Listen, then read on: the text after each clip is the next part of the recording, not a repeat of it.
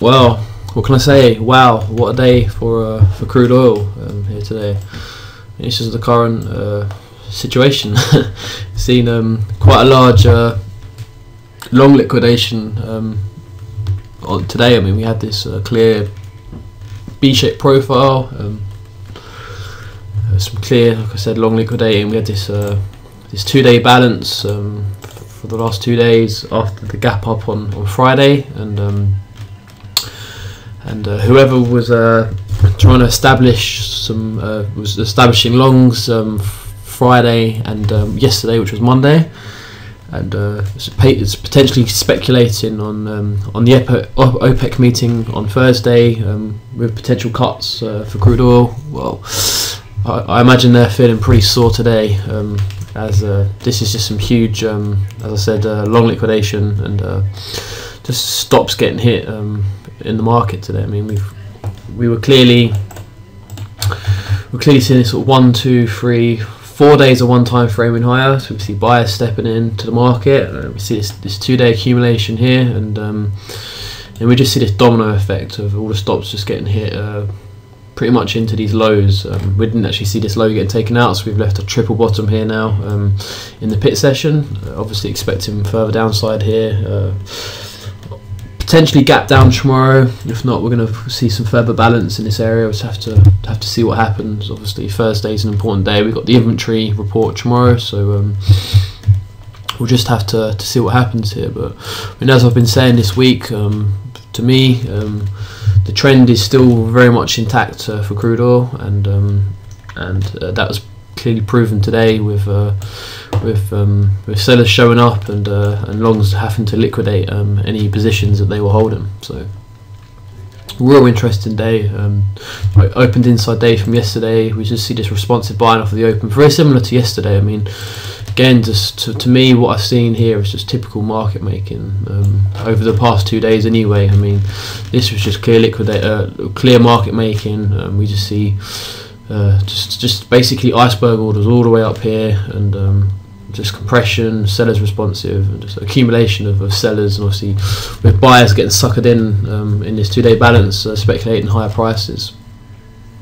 And today, again off the open, we just see this off of the open. We see the market rotate higher. We see all these iceberg orders on the way up. Um, again, we see this compression in the B period, and uh, sort of took a, a, peak above the initial balance high, and uh, we see all these. Uh, all these orders getting filled uh, to the sell side. Um, if I can find it, two seconds. So we had the open, we had this, we had just responsive buyers off of the open, just market making. Um, then uh, we see, like I said, these iceberg orders all the way up, and then we came into the to the next period, and we see all these orders accumulating. We see all these sellers basically just bidding any offers up here. And uh, we see this clear delta divergence. I mean, you can see that this was uh, 615 to the buy side. And on this bar closed out minus, uh, 754 to the sell side um, on cumulative delta. And uh, again just the same thing happening on the second uh, 15 minute bar of C in the in the compression. And then we closed um, inside. And then finally just see this big flush down all the way to the lows and just just carried on going.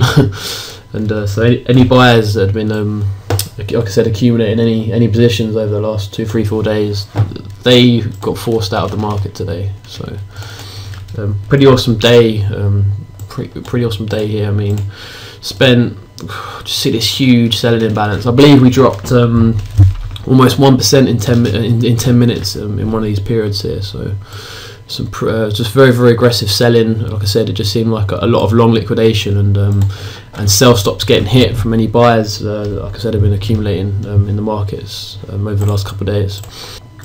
On the higher time frames, uh, we've clearly accepted. Um, we've clearly seen very fast trade through uh, last week's value, and um, off the opening, you can just see this peak above last week's value. We came to the developing value area higher, and just again the edge of this uh, accumulation from last week, and then we just see this these sell programs coming into the market, and um, see some targets getting hit here for some maybe some short-term traders, and then just bounce back to the developing value area low, and just continued selling into into the end of the day, and um, So we've clearly seen rotation from again one side of this distribution to the other on the month.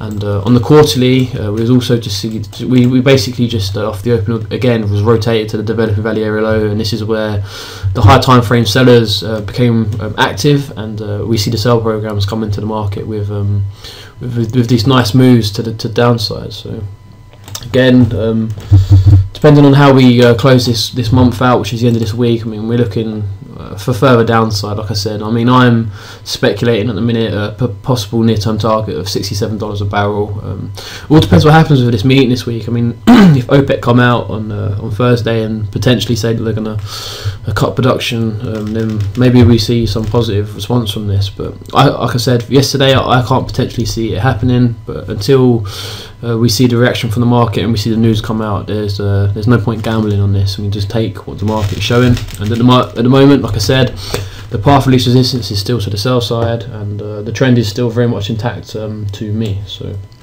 I mean, again, just just continued one time frame in here. We couldn't take out last week's high. I mean, I've been I, I, was I was basically bidding last week's high from from the Sunday night open and into the um, the high that got put in um, on on the, on the pit session on Monday. I mean, I was just I was just looking to sell this all day long. I mean, until we break this one time frame in and we see some macro balance coming to the market. Um, like I said, I'm I'm I'm a seller still in this market. I mean, especially um, recently. I mean, at these higher prices that we've been seeing. I mean, I, have seen people come in. We've seen buyers um, responsive. I mean, we see this uh, cross of the five exponential moving average, and you can clearly see faster time frame buyers trying to buy out of this balance, and um, we keep opening inside day at the lows. I mean, I'll show you this quickly. I mean, we cope, we opened inside day. Uh, on on Monday, we see responsive buyers. Again, inside day today, responsive buyers.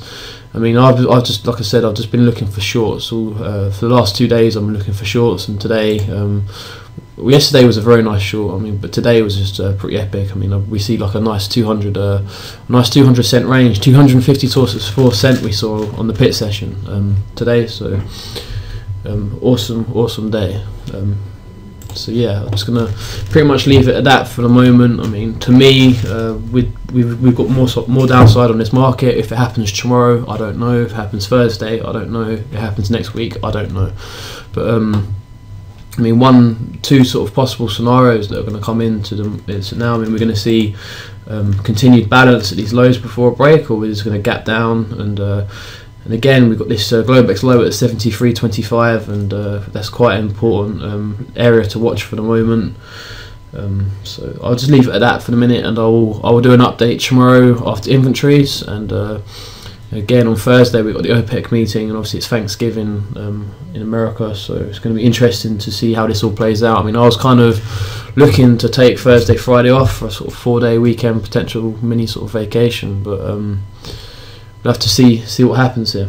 Anyway, I'll leave it at that, and I will catch you all tomorrow. I hope you traded safe. Take care and goodbye.